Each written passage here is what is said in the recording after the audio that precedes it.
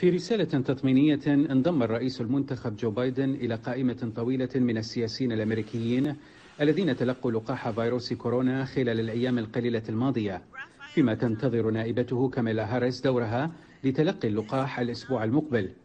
الإدارة المقبلة حريصة على ما يبدو على أن لا يصاب جميع أفرادها بالأعراض الثانوية المحتملة للقاح في نفس الوقت. You know, this is just beginning.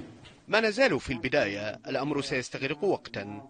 آمل من الناس أن يستمعوا إلى جميع الخبراء الذين يلحون على الحاجة لارتداء الكمامات والحفاظ على التباعد الاجتماعي خلال فترة عطلة عيد الميلاد. يتوقع الفريق الانتقالي للرئيس المنتخب أن يتلقى جو بايدن الجرعة الثانية من اللقاح خلال ثلاثة أسابيع ليتمتع بالمناعة الكاملة بعد نحو أسبوع من ذلك. وهو التاريخ الذي يصادف يوم تنصيبه رئيسا للولايات المتحدة. نحن في حالة هجوم على الفيروس. اللقاحات التي نقوم بتوزيعها ستنقذ الكثير من الأرواح. هذه الخطوة لا تأتي بلا جدل.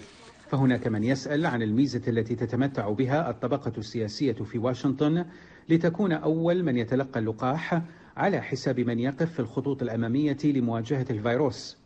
فهذه الطبقة السياسية وفق المنتقدين هي من أخرت حسبة مساعدة الأمريكيين المتأثرين بالوباء لأشهر. لكن الخطوة تأتي في ظل تفاؤل كبير في العالم مع تفويض اللقاح الثاني الذي يبدو أسهل في النقل والتخزين وسيصل إلى المناطق الريفية في الولايات المتحدة. يبقى ترامب الغائب الأكبر عن هذه الخطوة. فالرئيس الذي لم يتلقى اللقاح بعد لم يعطي سببا لذلك. وسط توقعات بأن الأمر مرتبط بتوصية طبية توصية تمنع اللقاح عمن تلقى علاجا ضد الفيروس خلال التسعين يوما الأخيرة لتجنب أي تداخل محتمل بينهما. لكن الرئيس الذي يخصص تغريداته للطعن في نزاهة الانتخابات لم يمنح اللقاح حصة ترويجية مناسبة في حسابه.